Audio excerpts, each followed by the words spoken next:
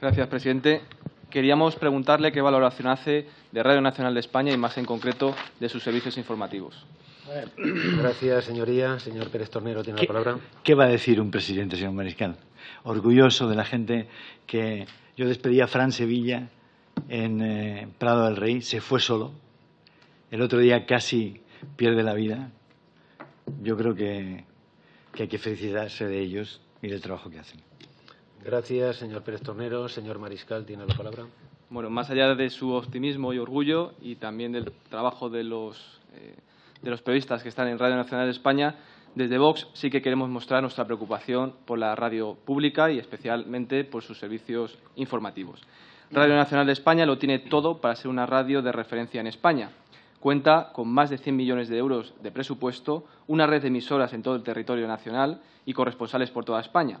Cuenta con las puertas abiertas de las instituciones del Estado y también con el respaldo de una historia de prestigio en el periodismo español.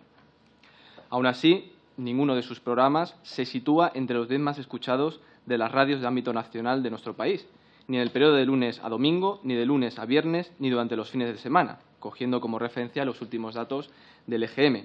Y a sus servicios informativos, ante los más escuchados, le pasa lo mismo. Los competidores del ámbito privado con menos recursos económicos y humanos, ganan a la radio pública en audiencia. Desde Vox queremos que quede claro que sabemos que esta desconfianza de los españoles hacia Radio Nacional de España no se debe a los grandes profesionales que trabajan en la radio pública. Se debe, eso sí, a la utilización de su medio hermano, Televisión Española, por parte de los partidos del Gobierno como un aparato de propaganda que, por asociación, está dinamitando el prestigio de, de Radio Nacional de España.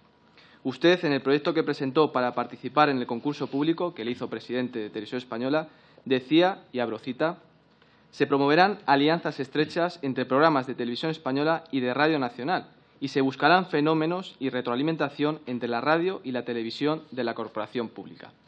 Y desde Vox le pedimos que no lo haga, que aleje a Radio Nacional de España de las malas prácticas que se, da en que se dan en televisión española no transmita la peste de la manipulación y la desconfianza que hay en televisión española a Radio Nacional de España. Los españoles se merecen una radio pública de la que puedan sentirse orgullosos y unos servicios informativos en los que puedan confiar. Ya que Televisión Española está perdida, convierta a Radio Nacional de España en un refugio de neutralidad y de calidad. Mucha pregunta. Doy por formulada la pregunta. Gracias, señoría. Señor Pérez Tornero.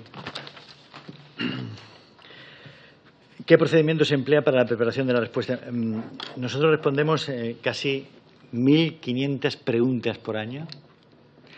Eh, del Grupo Vox hemos respondido 571 preguntas y lo hacemos movilizando todos los recursos que podemos, ¿eh? para que la información sea transparente y plural. Gracias, señor Pérez Tornero. Señor Sánchez del Real tiene la palabra. Bueno, pues transmítale mi nombre al equipo que prepara esas respuestas, eh, mi agradecimiento, porque somos, evidentemente, entonces el grupo que más la lata les damos. Esos que hacemos nuestros deberes. bueno, por la cifra que ha dado. Bueno, vamos a ver. El otro día que se produjeron, usted y yo somos tanto docentes como hemos sido eh, periodistas. Pues aquí el otro día en la sesión se produjeron, y me sorprende, porque habiendo ese procedimiento, aquí se produjeron dos verdades, cuatro mentiras y una injusticia. Dos verdades. La primera, la que comentó mi compañero Manuel Mariscal, de que en el programa eh, que se estaba comentando en aquel momento se había llamado a nuestro partido populistas, ultranacionalistas y extremistas. Usted contestó, primera mentira, he leído la transcripción literal del programa. Está, diario de sesiones. He leído la transcripción del programa. Primera respuesta de Radio Televisión Española. De esas 500 que les preguntamos, una entró y nos contestaron ustedes. No disponemos de equipo de transcripción. Es imposible que usted hubiera leído una transcripción que hiciera así con un papel cuando nos dijeron que no hay una transcripción.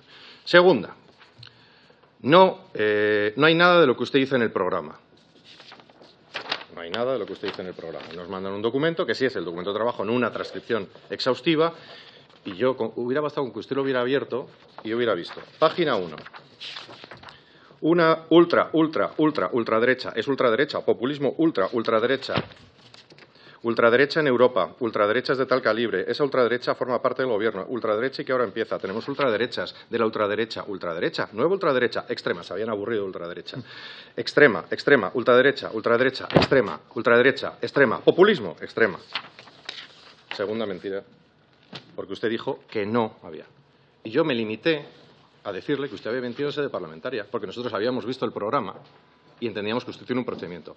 Entonces, el problema es, si esto ha pasado por un error humano, yo le perdonamos, porque somos gente generosa y entendemos que alguien viene aquí, se aturulla y usted se equivocó. Y el señor presidente también eh, de esta comisión se equivocó, porque no tenía todos los datos. Ahora tenemos todos, todos los datos.